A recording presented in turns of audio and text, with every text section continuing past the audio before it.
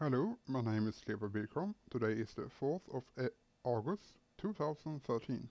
This video is about the TrekStor Pyrus e-reader, also called e-reader for ink at Thalia.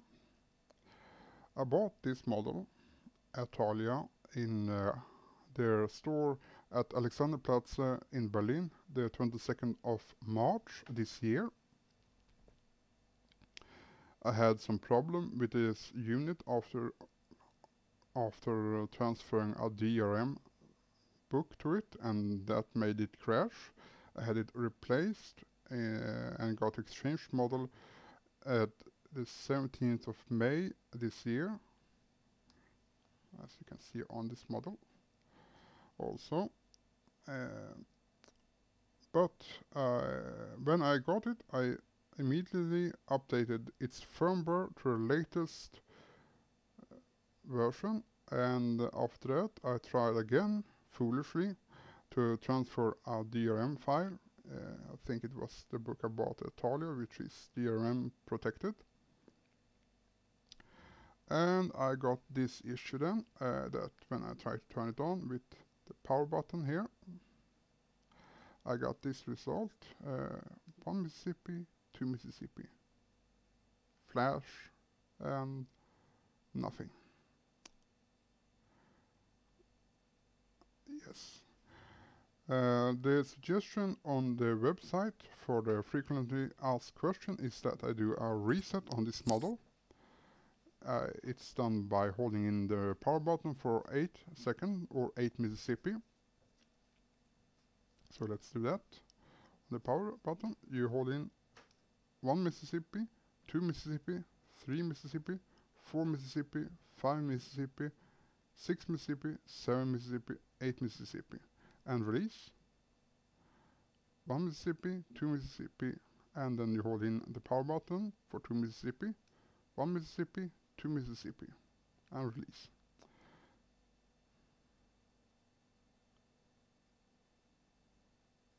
It does not work uh, you get this wallpaper saying TrekStor and join now. Sadly, cannot do that. Okay. Uh, without doing that, you try to connect it to the to the computer and see if you can do that. That unfortunately does not work because for some reason you can't boot it with you just got a flash Flash again, flash.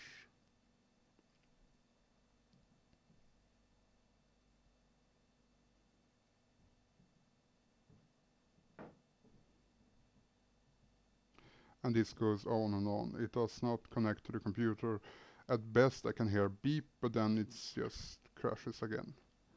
So it does not work. Uh, I can show it with this TrekStor Pyrus Mini about yeah, uh, maybe I should not go to electronic store when I'm on vacation, buy some many things. Uh, this is the Pyrus Mini. Uh, as you can see, I have some books on it. Works very well. I like it. Very handy. Connected to the computer. It blips. And I got some problem. But uh, that's a later matter. As you can see, you have this sign for USB that I want to see but can't on my other TrekStor and also if you take a look at my screen here it says digital edition and ebooks. Digital edition comes from uh, when I started Adobe digital edition program for transferring books as recommended by TrekStor and Thalia. The second is ebooks uh, created when I use the TrekStor e-reader suit. Uh, let's just take a while to look at it, see if you can get a picture of that. You also see Drive Info Calibre. Calibre is not a software. It's an open source software for handle ebooks. That software works very well. Let's see. Yeah, I'm back. Okay, uh, now I have a couple of other ebook reader. I have the iRiver Story HD. Works very well, but not my favorite. I have also the old model of a Bookeen Cybook Generation 3. What I like with this model is that when the system crash, like it's done on my TrekStor, you can reset it with the factory settings via a SD card as you pop it in here here at the bottom at the top of the unit and doing a manual override and transferring all the system files to it. Now I can't do that on the TrekStor. It does not work. I can't access it.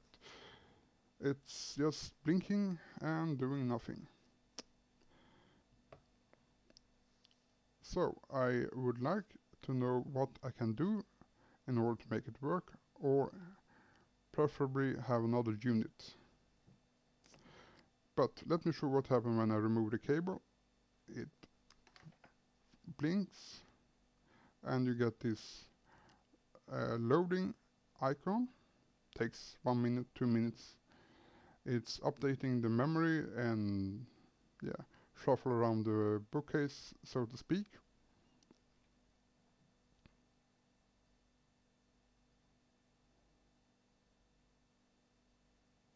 And back. So that's what I want. It, my TrekStor did that, uh, this loading icon, and then it broke. It froze and did not respond anymore. I suspect it's something with the digital edition that uh, for some reason the system is looking for the booting file in the wrong folder, but it does not find the boot and cannot continue with the booting sequence and it just looping and I can't do anything about it as I can with the Bookeen manual override. So uh, I hope I can get some technical information on how to access the root file and manually override the system or maybe an exchange unit. But that is for you at TrekStor to decide. I hope I can work with you to solve this question because this is my favorite book reader. I like it very much, it's good in my hand, it's a big display for me to read on, good buttons, I like the interface. Many reviewers calling it a bit dull, uh, uh, some pointing out that it does not have Wi-Fi like the iRiver Story, like this model. For me, it's just a plus. It's a plain e-book reader. It does what it does. And I like it. Therefore, I hope I can get it working again. With that, that's my conclusion. Thank you for watching.